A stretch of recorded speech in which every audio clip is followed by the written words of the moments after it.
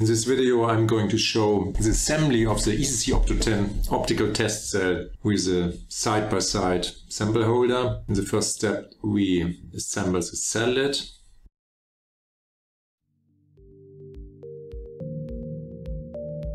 We insert the polyethylene seal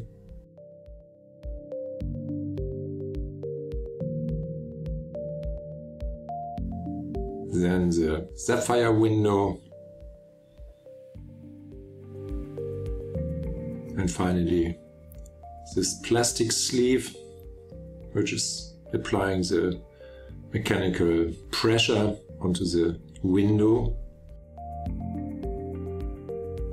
Then we attach this metal flange with the six screws already inserted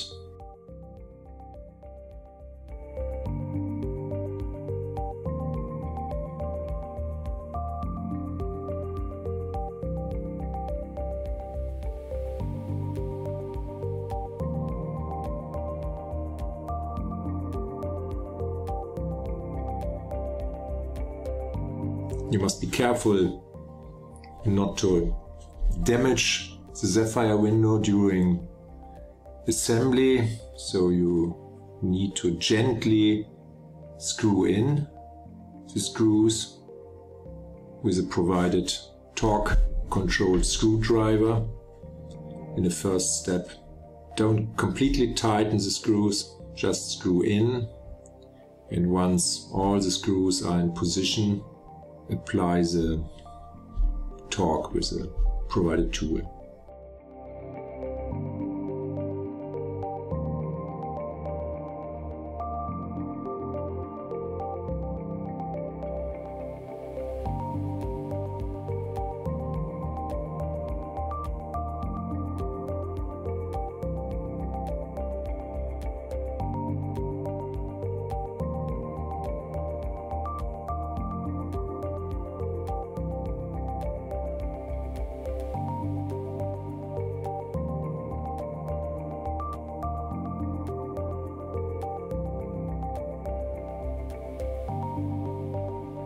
Okay, and the lid is fully assembled. We insert those silver plated screws which will finally hold the lid on top of the cell base.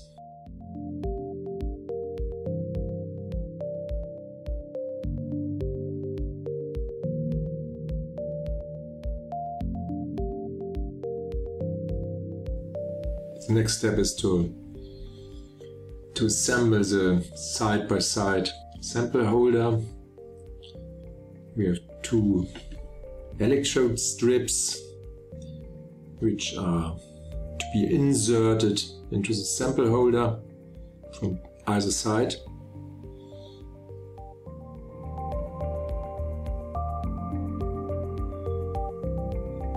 For now they must only be roughly in position. We will later on have a chance to adjust the strips more precisely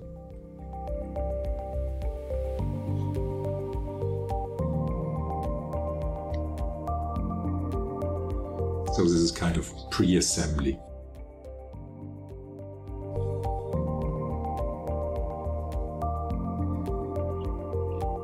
Then we go on with the assembly of the cell. We insert the central plunger into the plastic sleeve using the provided tweezers tool.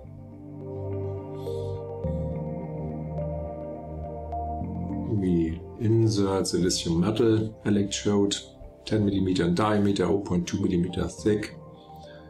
Then put the glass fiber separator on top, which is also 10 millimeter in diameter and 0.25 millimeter thick.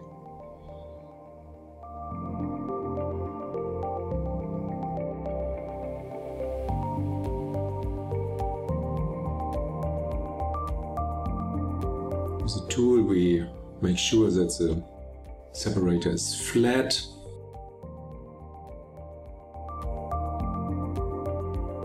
Then attach the sample holder, press the holder down.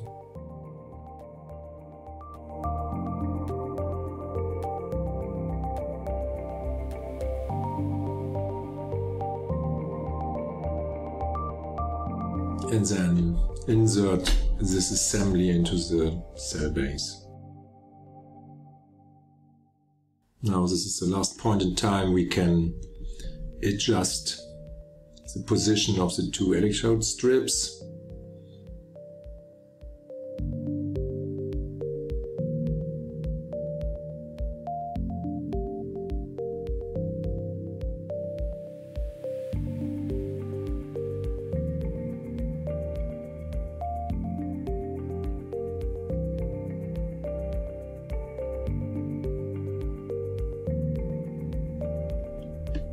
Then using an Eppendorf pipette, add 30 microliters of electrolyte. Don't use more than this as you may cause dirt in the cell base. Insert this polyethylene seal.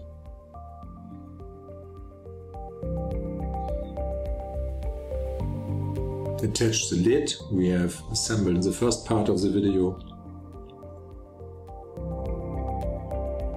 Watch the proper orientation of the lid. Okay, and now check again that the strips are properly aligned, and if so, only then press down the lid and firmly tighten the screws.